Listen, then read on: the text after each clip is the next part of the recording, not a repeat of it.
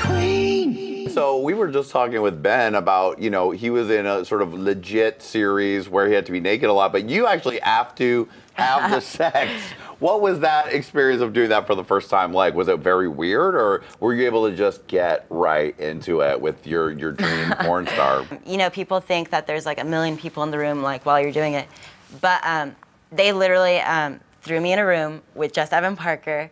And um, it was more supposed to be um, a POV kind of thing. Mm. So, So um, it's just the two of you and you were filming yourselves? And a GoPro, GoPro's like in the room. Uh huh. So um, it was literally really intimate, but like at the same time, like I like was loving every minute of it. of course you like how can you not? Evan Parker's so gorgeous. Mm-hmm. So you did Helix for a while, Yeah, I was an exclusive model for um, about six to seven months. and you were like, I, if I fuck another fucking twin, I need to just get the fuck out of here, man. I met with the owner of Cocky Boys at New York Pride about like two years ago now.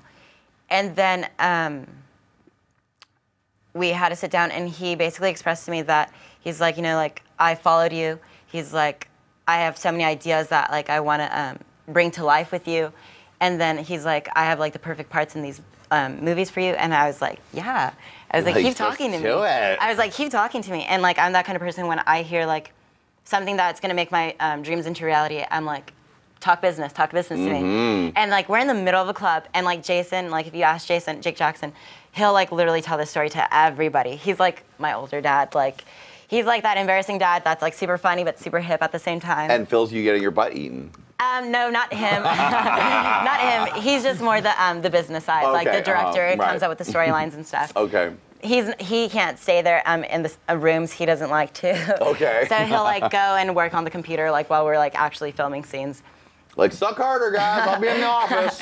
But um, this guy was like talking to me like from the side as me and Jason are having this serious talk, and he's like grabbing me, grabbing me, and Jason was like, "We're talking," and like I was like.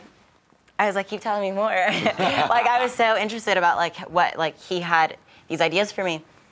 And um, a month later, I emailed him, and I had just finished my contract with Helix, and I was like, I'm ready. I was like, let's do it.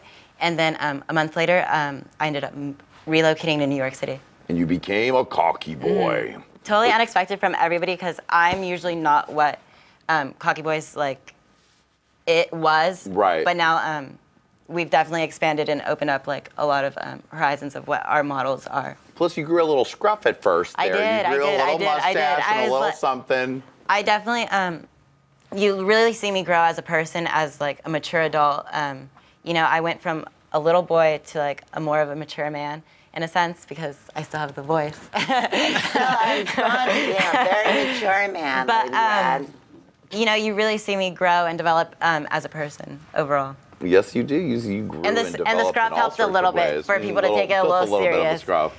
Shave today though. yeah, I like that you look nice and fresh.